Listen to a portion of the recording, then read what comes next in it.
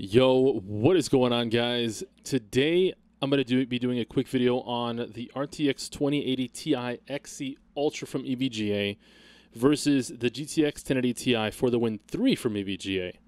Now, if you guys were following me on Twitter, I did post that I was going to be doing multiple video cards, like, you know, 1080s, RTX 2060s, and so on in this video. Uh, but unfortunately, I didn't have time, and I actually ran out of time. Uh, I was really wanting to uh, dive into other video cards as well, but I got so busy with appointments and, and, PC builds and stuff like that, and I couldn't get to multiple to more video cards. Um, and the demo today, you know, finished at 9 p.m. Eastern uh, on Sunday, so three days, and I got pretty overwhelmed with a lot of stuff. But anyways, uh, unfortunately, I couldn't get like side by side exactly, you know, exact moments while I was playing. I literally just started recording and just played I guess you know if that makes any sense, but um, it's not an exactly positioning, but you can actually tell as far as performance wise how in the demo alone, which keep in mind, guys, this is a demo. NVIDIA or AMD has not released any official drivers yet for Anthem. So these numbers will change once the official releases uh, out in February. So take these results that you see here with a grain of salt.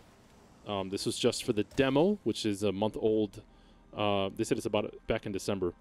Uh, so I'll do I'll redo a video once the official game comes out, and I'll do that with more video cards because I'll have more time because I'll have the game and I wasn't limited to only three days.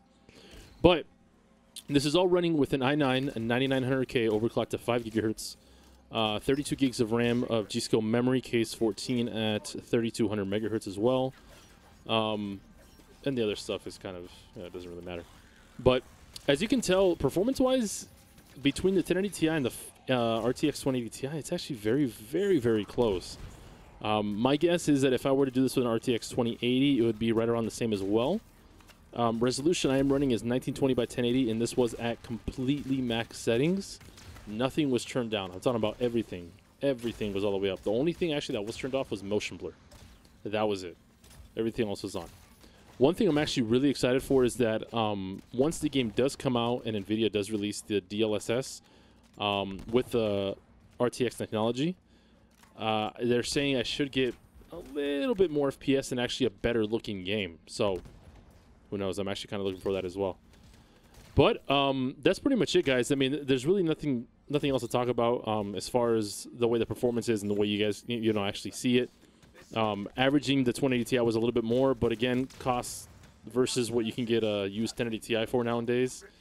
I mean, you can find a 1080 Ti used for 500 $500. Used 2080s, you can find it for 550 600 um, You're talking 2080 Ti's are, right now there's a lot of price gouging with them, so they're upwards of like 13.99, sometimes 15.99. So I still am going to say either stay with the 2080 or stay with the 1080 Ti if you already have one. Obviously, with RTX technology and DLSS coming out, you just got to weigh your options if you think it's really worth it for you. Uh, as far as if you you know comparing to the older stuff, but that's pretty much it, guys. If you guys enjoyed the video, make sure to give it a thumbs up. Make sure to subscribe. I am not doing any ads or anything like that on these videos. I just want to show you guys. I'm not trying to do YouTube like to make money and stuff like that off of it. This is pretty much just you know information for you guys uh, is all. Uh, of course, just you know let other other people know about it, and that way uh, if they need, you know, they're trying to find an answer for this. This is it right here: 1080 Ti versus 2080 Ti with the Anthem demo. Uh, and I want to I want to emphasize that Anthem demo. Final version will definitely be different results.